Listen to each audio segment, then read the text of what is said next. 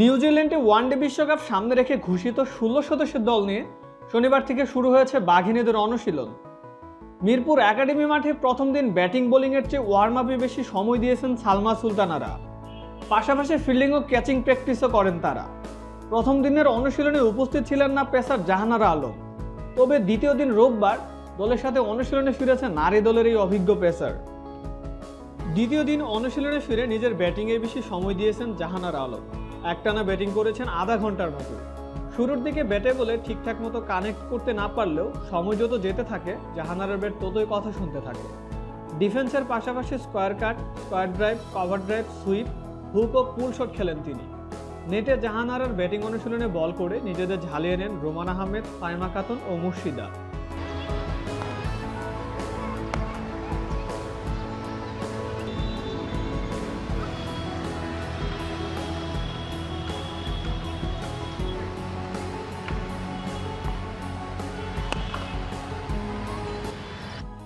জাহানারার ঠিক বাম পাশে সুরায় আজমিনকে উইকেটের পিছনে দাঁড় করিয়ে একটানা বোলিং করেন Nahida Akter.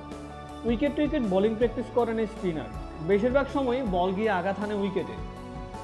একাডেমি মাঠে ঠিক পূর্ব পাশে পর্যায়ক্রমে একে একে ব্যাটিং ও বোলিং প্র্যাকটিস করেন সবাই। ব্যাটাররা আউট হলে উল্লাসে মাতেন বলাররা। এভাবে আধা ঘণ্টার মতো অনুশীলন করে বিরতিতে যান বাঘিনীরা।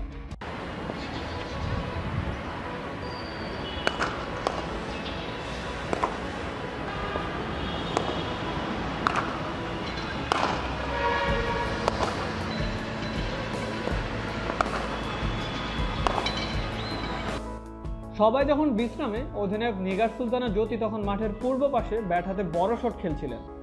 কভার ড্রাইভ, অফ ড্রাইভের পাশাপাশি লং অফ কাউ কর্নার ও লং অন দিয়ে বিশাল বিশাল ছক্কা হাঁকান জ্যোতি। অন্যদিকে ব্যাট হাতে একাডেমির সেন্টার উইকেটে তাণ্ডব চালাতে থাকেন ঋতুমণি। তার লক্ষ্য একটাই, বড় শট খেলা। একের পর এক straight drive, off drive, lofted drive, on drive O pull shot খেলেন তিনি। বেশিরভাগ বলি চার ও ছক্কায় পরিণত হয়।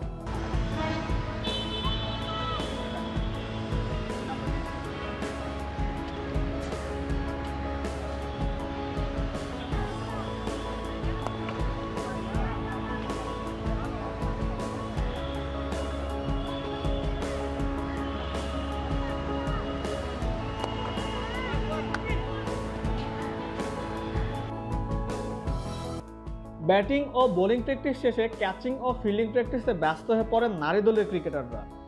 এ সময় দুই দলে ভাগ হয়ে মাঠের পূর্ব ও পশ্চিম পাশে পনেরো থেকে বিশ মিনিট অনুশীলন করেন তারা।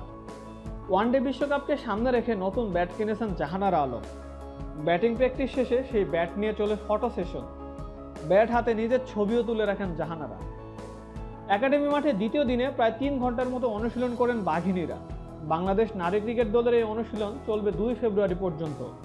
এরপর তিন ফেব্রুয়ারি নিউজিল্যান্ডের উদ্দেশ্যে উড়াল দিবে বাংলাদেশ নারী দল। Mahir Sohag, postmail twenty four dot com